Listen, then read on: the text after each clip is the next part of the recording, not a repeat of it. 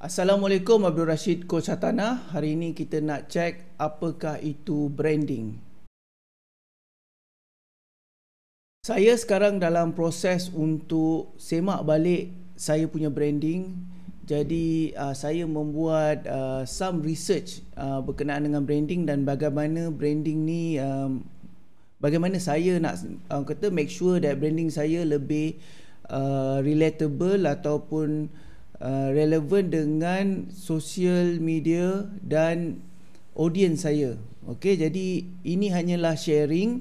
Of course, uh, caveat yang saya nak letak kat sini ialah saya bukan pakar branding, cuma lebih kepada nak share apa yang saya dapati daripada uh, penyelidikan saya berkenaan dengan branding ni. Okey.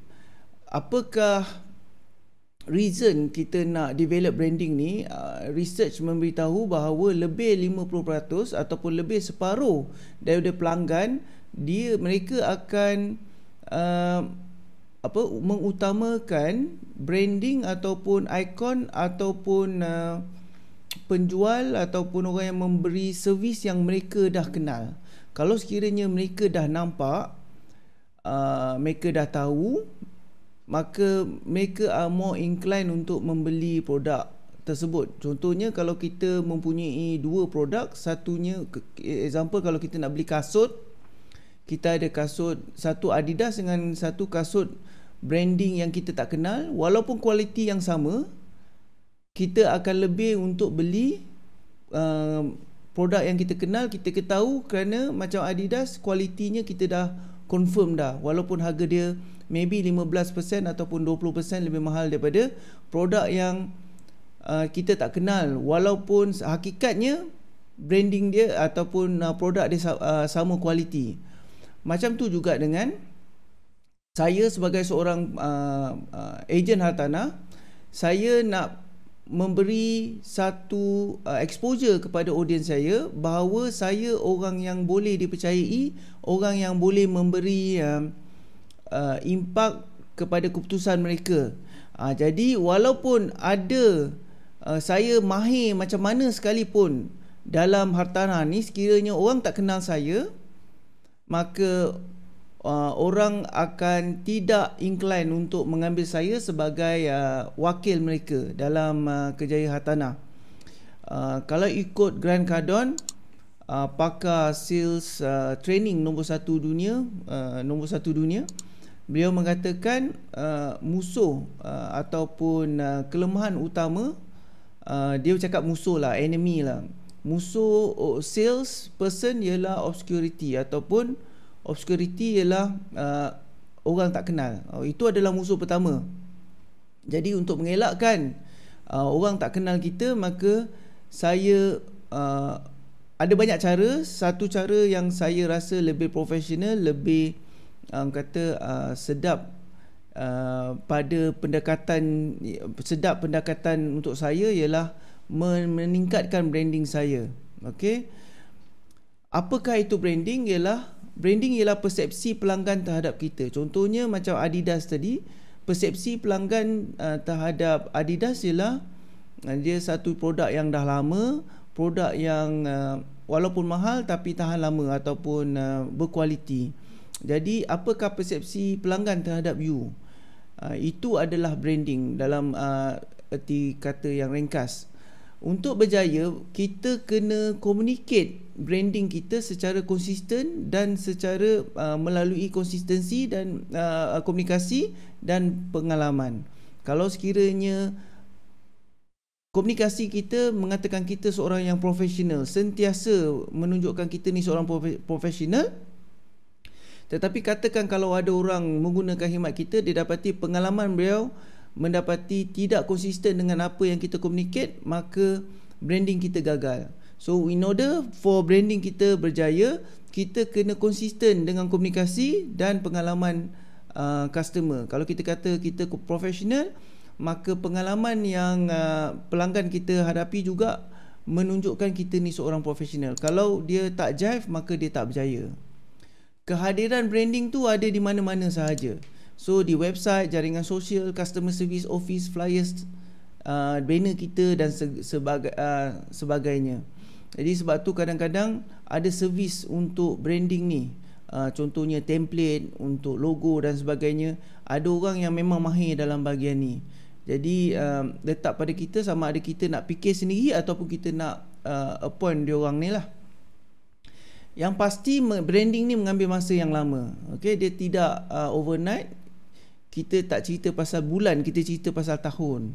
Okay, uh, kalau apa siapa yang ingat apa yang saya share last time apa yang diberitahu oleh uh, apa tu? Uh, salah seorang seorang penceramah uh, pokok uh, bambu ataupun bulu mengambil masa 5 tahun untuk dia betul-betul uh, besar. Tapi 4 tahun yang pertama ataupun uh, 4 tahun setengah yang pertama ni grownya di dalam tanah jadi begitu juga dengan branding. Branding ambil masa lama. Kita kena buat foundation yang kuat sebelum uh, orang kenal kita. Jadi maybe uh, uh, kita ambil contoh lah macam apa tu uh, uh, Datuk Sri Vida seorang branding yang terkenal kat Malaysia ni. Dia ambil masa lama di uh, mengekalkan apa? menguatkan asasnya. Bila dia dah set food bagus, maka branding dia naik cepat mungkin, sangat cepat. Dalam masa 2 tahun saja dia dah semua orang kenal dia kan? Uh, jadi uh, basically apa yang kita nak cakap branding mengambil masa yang lama dan kita perlu bertabah dan sabar dan terus menerus dengan kita punya usaha meningkatkan branding kita. So bagaimana? Berikut ada 11 poin yang saya ambil daripada apa tu satu portal website branding dan saya nak sharekan. First pertama ialah kita nak kena tentukan target. Siapakah audience kita dan kita kena cipta message ataupun buat message kita um, berdasarkan kepada audience tersebut. Kalau sekiranya audience kita uh, cost houses dan kita kena buat message berdasarkan local houses tu. Apa yang uh, audience uh, local houses tu minat? Dia first thing dia minat ialah harga, right? Jadi Uh, kita kena message perkataan dengan murah, uh, value uh, yang bagus dan sebagainya. Jadi kita kena kenal siapa audience kita. Jadi kat sini dia ada beritahu course schedule ni dia ada buat lima pecahan age, gender, location, income level dengan level education. Jadi kita kena tentukan apabila kita membuat satu message uh, orang ni dalam kes yang ni uh, ada ada coach mengatakan kita kena letak satu orang yang uh, satu uh, uh, apa tu portrait orang dekat laptop kita ataupun komputer kita so that bila kita cipta cipta kita punya message berdasarkan kepada orang kat dalam portrait tersebut. Adakah dia menepati uh, message ni menepati orang yang kita nak sampaikan tu ataupun tidak? Jadi always ask. Jadi kat sini kita tengok umur dia dia female ke male ke location dia kat mana berapakah income level dia dan level education dia. Okey? Yang kedua ialah brand branding mission statement. Apakah yang kita passionate? Contohnya macam Nike to bring inspiration and innovation to every athlete in the world. Jadi maksudnya dia nak membawa inspirasi dan inovasi. Jadi sebab tu dia sentiasa berubah-ubah supaya semua atlet uh, merasakan perubahan setiap produk yang dia beli. Kalau ada ada baru uh, produk yang baru maka produk tu dia lebih bagus daripada produk yang sebelah sebelum tu berdasarkan kepada inovasi yang terbaru. Jadi apa yang kita passionate? Apakah mission statement kita untuk branding ni? Jadi kita kena tahu sendiri. Yang ketiga kita kena semak pesaing kita. Tetapi kita jangan meniru. Okey? Uh, mana satu uh, orang yang sama apa tu menuju mempunyai audience yang sama dan mempunyai message yang sama. Jadi kita tengok kat mana create benchmarking. Then kita akan uh, semak kat mana uh, kedudukan kita dan macam mana kita nak jadi lebih baik ataupun sama baik dengan mereka. Yang keempat apakah kualiti utama serta kelebihan brand kita? Eh uh, Contohnya Apple dia punya branding bila orang tengok Apple je satu dia user friendly, nombor dua dia reka bentuk dia mudah. So uh, Apple pentingkan kedua-dua aspek tersebut. Jadi bila orang nak user friendly, orang walaupun Android ni user friendly example, orang akan ambil Apple sebab dia kata uh, uh, Apple tu lebih user friendly walaupun sebenarnya sama. And kadang-kadang ada ketikanya Android lebih user friendly daripada Apple. Tapi sebab pengalaman serta communicationnya konsisten dengan orang yang menggunanya maka selalunya orang yang dah guna Apple amat susah untuk dia nak tukar pergi ke Android dan sebagainya kan? Dan begitu juga dengan Android. Apa yang orang suka dengan Android ialah customization kan? Lagi satu dia punya app app percuma example. Jadi uh, bagi saya pula saya lebih suka uh, uh, Android kerana Android kalau saya beli satu app app tu akan saya tahu saya akan boleh guna walaupun saya tukar telefon and then lepas tu kalau sekiranya Android dah berubah dia punya version app yang saya beli 5 tahun yang lepas masih lagi boleh digunakan okay that one ada kita nak check apakah kelebihan brand kita yang kelima, tagline kita. Kita kena pastikan tagline kita kita guna kat mana-mana. Ini saya sedang buat research untuk saya punya branding. So you guys juga kena buat. Okay? Yang keenam pula ialah suara brand kita. Apakah yang uh, apa satu voice yang apa tu menunjukkan kita punya brand. Adakah dia profesional, akrab, cepat, ikhlas. Contohnya takaful ikhlas. Dia punya suara dia lah saya ikhlas anda bagaimana. Jadi ikhlas tu adalah apa yang dia pegang. Saya apa yang uh, suara brand saya. Jadi saya kena tentukan, okey. You juga kena tentukan you punya your your voice, brand voice. Okay, pastikan pelanggan jelas dengan branding kita. Kena make sure. Kalau kita kata kita professional, kita kena make sure gunakan yang suara yang kita dah tentukan tadi dan kita akan publish sentiasa konsisten. Sebarkan message branding kita, pastikan uh, branding kita konsisten dengan setiap masa. Kalau kita kata kita professional at any at any time dia kena professional. Okay?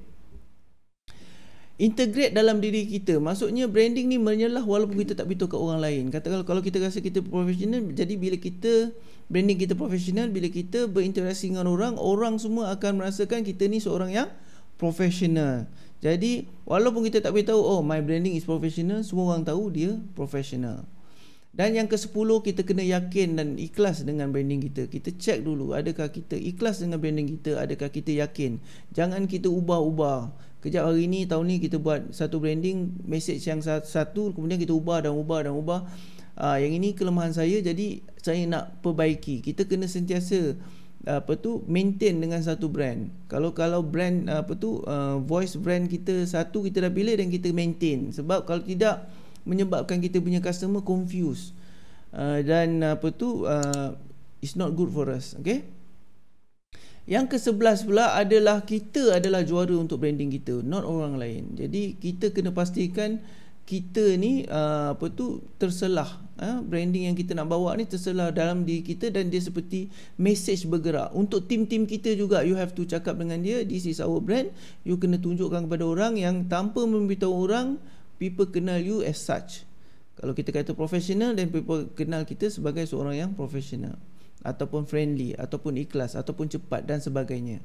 Okay, itu adalah kesimpulan yang uh, saya nak share hari ini. So, um, adakah you setuju ataupun you ada rasakan ada yang saya uh, miss out? Kalau boleh tolong uh, letak di komen di bawah insya-Allah saya akan reply.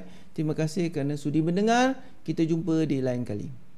Terima kasih kerana sudi mendengar channel ini. Sekiranya ini adalah kali pertama you di sini dan you suka mendengar tip-tip pelaburan hartanah serta kejayaan hartanah, jangan lupa untuk tekan butang subscribe, tekan butang notification, thumbs up serta komen. Kita jumpa lain kali.